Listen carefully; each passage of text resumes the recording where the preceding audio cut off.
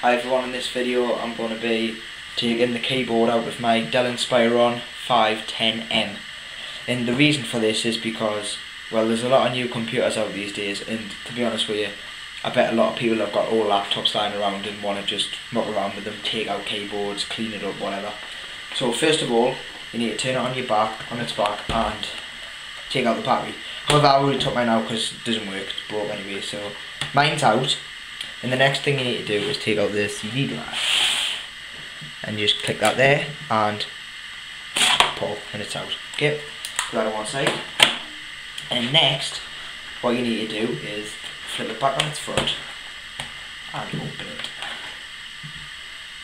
And then grab a small screwdriver, a flathead, because the flathead because you can clip it in here and unclip it. So all you need to do is just unclip there and then just pull and it should come off no bother. Put that on one side. Then it might you might get dust in here, you might not, and that's the reason for having a brush, just so you can give it a brush off, whatever.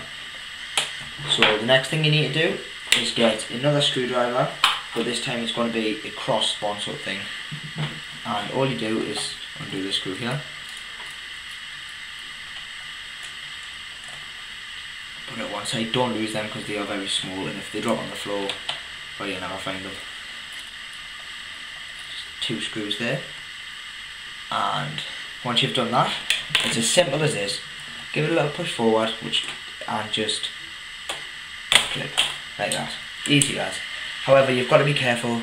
There's a connector here and all you need to do for that is just give it a pull. So grab this bit of paper. And give it a pull. Comes out easy. And then obviously from there you can just give it a clean give the back a clean give inside a clean. And that is how you take the keyboard out of a Dell Inspiron 510M thanks for watching. Please share this video and hit that subscribe button. Thank you